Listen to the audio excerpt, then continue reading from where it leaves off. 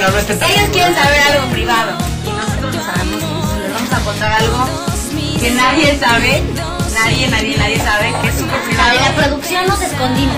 Sí, estábamos en Chile haciendo promoción, estuvimos varios días ahí. Y fue un momento como crucial en la vida de RBD, un momento muy muy fuerte, donde tal vez había algunas cosas que estaban un poquito revueltas y de pronto por la misma convivencia que pleitos, que malos entendidos y tal, nos fuimos los seis por decisión propia, sin que nadie de la producción supiera, nos encerramos en el cuarto de Poncho, exacto, con un vino tinto.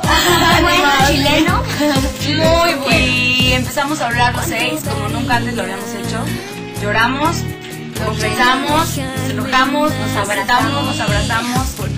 Y a partir de ese día, yo creo que estamos más unidos que nunca y que ese lazo está muy cañón pueda romper. Y ahí salió algo